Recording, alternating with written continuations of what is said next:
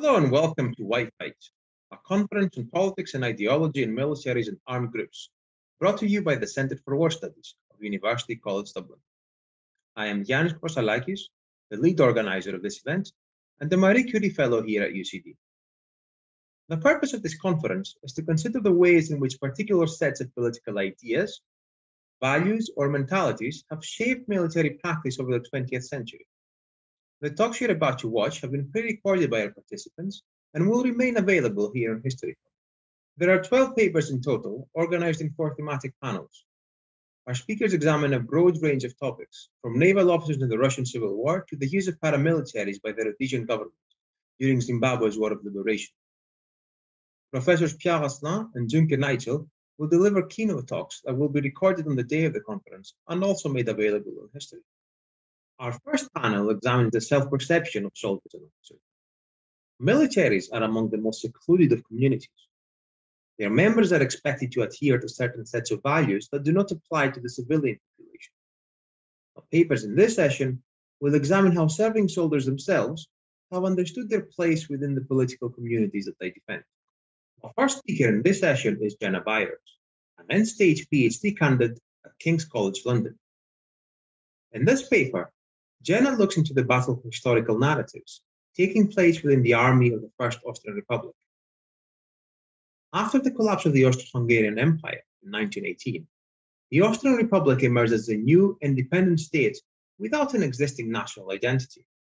So how did the Republic look upon its Habsburg past, and how were Austrian soldiers expected to relate to their imperial military heritage? Jenna considers these questions in the following talk. When discussing interwar Austria, there are a few things that everyone knows. First, interwar Austria was quite small. Second, interwar Austria wanted nothing more than a union with Germany because they were all Nazis. And third, interwar Austria wanted nothing more than a union with Germany because they were all Germans. I am here to change your mind about some of these things, because only one of them is actually true. Interwar Austria was indeed quite small. Meanwhile, the identity which the government of Austria attempted to produce was, as we shall see, neither particularly German nor specifically Nazi, rather, they attempted to create what I have dubbed a Habsburg Austrian identity. In 1918, at the close of the First World War, Austria was the leftover territory of a once vast empire, struggling to make its way in a drastically remodeled Europe. A whole host of new states had risen out of the ashes of the empire taking with them most of the raw materials and manufacturing capacity that had existed in Austria Hungary. The bit left over was the administrative part, with a bunch of civil servants in Vienna and a rural community that was angry about the war, angry about the peace, and angry about pretty much everything the government was doing. While there continued to be anger and frustration across Austria throughout the interwar period, the tone of this anger and its direction would evolve significantly over the years. The government that came to power in 1918 was run by the left leaning Social Democratic Party. They inherited an economically weakened, territorially reduced, generally exhausted country that had been losing a war for several years. Unsurprisingly, they looked at their neighbours, at the nation of Germany, and what they saw was a country that was economically stronger and which was bound to recover faster. They sought an economic union with Germany to help their own recovery and their reinvention as a small nation state. They were denied this by the Allies, who also issued a list of decrees about material with military applications that Austria was obliged to destroy as part of the peace deal. The very same committee that oversaw this destruction also proposed a loan to Austria so that they could buy new civilian versions of a lot of the things that the committee had told them to destroy. But that is a different story for a different day. 20 years after all of this, in March 1938, Hitler and his merry band of fascists marched into Austria, where they were greeted by flags, music, and cheering crowds. These people also appeared to want a union with Germany because, as historians have so wisely argued, they were all Nazis who considered themselves German. There are a few historians who have wondered whether all of the Nazis in Austria actually wanted a full takeover, or whether they just wanted to overthrow the legally elected government and install a Nazi regime of their own, but that is the subject of a different conference paper, which you guys missed. So now you'll just have to wait and see. So if the left-leaning socialist government wanted a union with Germany in 1918, and the right-wing populist movement, which didn't actually hold government office or government power in 1938, also wanted union with Germany, the obvious conclusion is that everyone in Austria wanted a union with Germany, all the time, and there is nothing to discuss here. Right? Obviously not. In fact, the transition that happened during these 20 years is exactly what we're here to discuss today. Because after the socialist government fell in 1920, they were replaced by the Christian Socials, who, as you can tell from their name, were a centre right, generally well meaning party. And the Christian Socials began to consider what it really meant to be citizens of the newly created First Republic of Austria. They did not believe that they were natural citizens of the German state next door. True, both countries spoke German, and yes, they both called themselves German, though many modern Austrians will inform you that they in fact speak better German than the Germans. Better being an interesting term that we don't have time to discuss fully today. But it is this concept of betterness that is key to understanding interwar Austrian identity, because the government developed an idea whereby Austrians, as the direct descendants of the Austro Hungarian Empire, and specifically of the Habsburg family, could, in fact, trace their lineage all the way back to the first arrival of the Romans in the Danube region. The peoples in this region then evolved through to a certain point wherein a split developed between two different German tribes, which would eventually turn into the Germans who lived in the nation state of Germany, and the Austrian Germans who lived in what would eventually become Austria. The Austrian government then chose to distinguish this new identity that they were creating from that of the German nation state by highlighting their connection to the Habsburgs as the family which demonstrated the best of Germanness in recent times. There's that concept of better and best again. Hence, I would argue that the Austrian German identity, which they put forward in the late 1920s, was a Habsburg focused identity. The government used various methods to disseminate this identity and this connection with their Habsburg past to the population. But the key element that we are looking at today is education in both civilian and military spheres. You might be surprised to learn that the Austrian government saw a strong link between civilian education for children and the armed forces, going so far as to teach the ABCs with A is for Apfel, B is for Bowel, C, so on, all the way down to S is for Soldat, or soldier. Because apparently a nation that could recruit a maximum of 30,000 troops liked to start them off young. Though this, of course, makes sense because, under the Habsburgs, the military was a highly respected, prestigious institution. Many nobles served in the armed forces, including my personal favorite, Franz Josef, who made public appearances almost exclusively in military uniform. The Austrian cavalry, for much of its history, was considered to be one of the finest in the world, a legacy which lives on in the Spanish riding school in the Hofburg. Don't be fooled. There are some historians out there who will try to tell you that the Austro Hungarian army was the laughing stock of Europe, but they won more battles than they lost, and crucially for our conversation today, they were widely respected by the common people of the empire. Of course, after the First World War, with hungry, desperate soldiers looting and pillaging, this reputation did take significant damage. But the Christian social government devoted a lot of time to repairing that damage and rehabilitating the military's image. Their first step was to revamp and reopen the Military History Museum so that they could educate their citizens about the military and about the role of soldiers in the war. They included statues of many of the heroes of the Thirty Years' War and the Napoleonic Wars, conflicts which, which both involved confrontations between Austria Hungary and Prussia. And if a government is willing to teach its citizens about historic conflict with another country, it doesn't immediately suggest to me that they're desperate for an alliance with that country now. They also included a series of pictures which can be translated to shot effects, where they attempted to explain to civilians what the experience of war was really like. A valiant effort at the best of times, this demonstrated the time and energy which the government was willing to devote to improving the reputation of the armed forces and restoring the relationship that civilians and soldiers had shared under the Habsburgs. They devoted this time and effort largely because the soldier was an ideal figure to represent the key features of a Habsburg German. He was almost overwhelmingly Catholic, and if he wasn't, as the good soldier Švejk tells us, he was happy to pretend that he was Catholic. In the predominantly Catholic nation of Austria, this was not a difficult goal to achieve. To highlight the importance of religion and faith in particular in the Catholic Church was not a difficult thing. The Habsburg German soldier was also an upstanding citizen, eager to assist in times of crisis. The military was frequently deployed in disaster relief operations after floods or avalanches in the interwar period, so much so that one newspaper calculated that in 1927 alone, the military provided more than 50,000 hours of disaster relief. This went a long way to improving relations between the military and the civilian population and engendering trust between them. But crucially for the government, which did not have the steadiest grip on power in this period, the Habsburg Austrian soldier, like his Habsburg imperial predecessor, was apolitical. Keep in mind, this was a tumultuous period in European politics. Robert Gerwarth has argued that the First World War didn't end until 1921. There were communist uprisings in Bavaria and Hungary immediately after the war, and the rise of fascism meant that no government on either the left or the right was entirely safe from extremist dissatisfaction. Therefore, having a reliable military that could be trusted to defend the constitution of the state was a particularly important element of retaining power. As the Austrian government learned when they suffered a left wing uprising in February in 1934 and an attempted Nazi coup in July of the same year.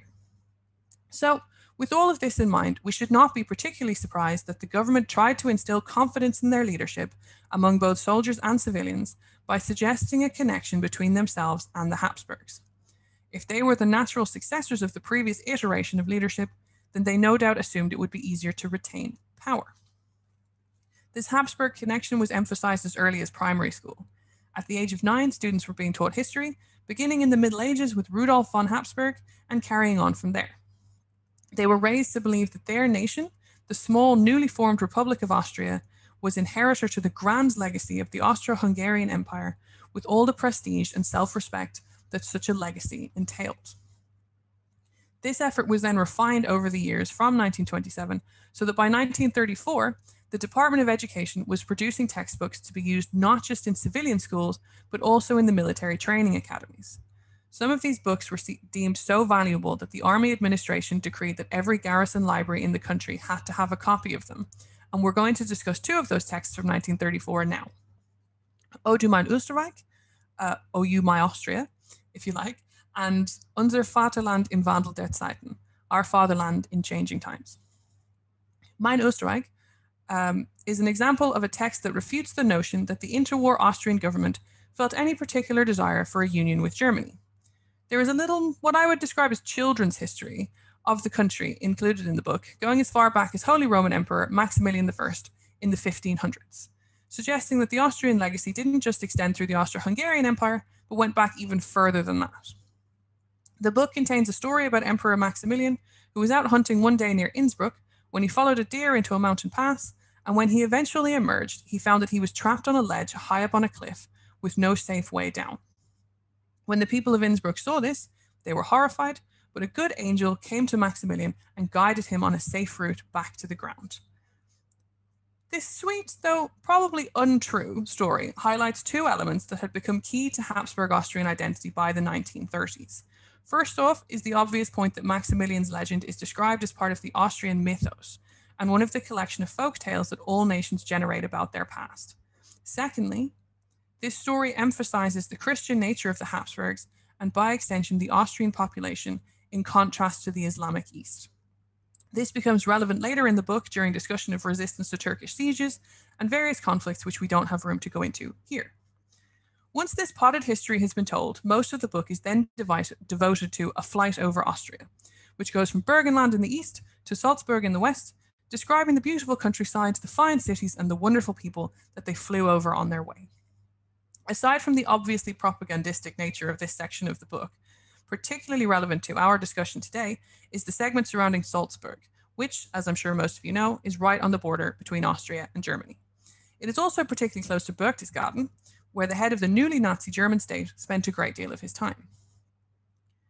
If we return to the assumptions made earlier, that about everyone in Austria in this period being a Nazi who wished that they were German, then we would be fairly safe in assuming that this section of the book offers a golden opportunity to discuss the land and the leader lying just over the border. It would be a natural segue into a fantasy about what lay on the other side of that boundary line and what could be if only there was a formal union between these two states, which were basically the same. Except that didn't happen. Rather, the text discusses the beauty of Salzburg and its mountain location, the heartiness of the people who lived there, and in fact does not mention Berchtesgaden, Germany, or the Nazi leadership in any way. The book reiterates time and again that the borders of Austria, as they were in the interwar period, were the correct borders. That though the empire had shrunk, these were the logical borders for the republic that had grown out of that empire. Military training further backed this theory up in an interesting model called Heimatkunde, or Homeland Studies. The test questions for this module in the year 1935 reveal questions discussing the borders of Austria as natural as though they were always meant to be. Only three years before the German invasion occurred, I cannot say that this sounds to me like a government or an army particularly interested in sublimation into the German Reich. But perhaps I am mistaken. Let's look at our other book, Unser Vaterland im Wandel der Our Fatherland in Changing Times. It's an interesting title, I think you'll agree, suggesting that at the very least, the Austrian government was aware of the political turmoil around them and the upheaval that was racking Europe at this time. This awareness further supports the theory that, in fact, the Austrian government was perfectly conscious of German activity across the border, but that they deliberately chose not to engage with it because they were not themselves interested in becoming an extension of the Nazi Reich. But what about the content of Unser Vaterland? This book covers similar ground to that discussed in Mein Österreich, but it also goes further back. The author, Wilhelm Scheer, attempts to draw a direct line of descent from contemporary Austria all the way back to the Babenberg family, which predates the Habsburgs. He describes in considerable detail a story from the Crusades when Leopold V, or Leopold von Babenberg, fought alongside King Richard of England, bringing Austrian continuity all the way back to the 13th century now. This story describes a conflict in which Leopold fought so ferociously that whoever approached him, he conquered. No one defied him. By the end of the fight, he was so covered in blood that his entire tunic had turned red. Until he removed his belt, whereupon a strip of white was revealed across his middle, an image which bears a remarkable similarity to the red and white flag which the interwar Austrian government had selected to represent their country. Scheer argued that the creation of this symbol was what inspired Leopold to change the symbol of his house from a red eagle to a white stripe on a red background, both to mirror the image that he had inadvertently created and to honor the heroic dead who had fallen in the fighting. This story again suggests some of the key points that have been raised in this paper.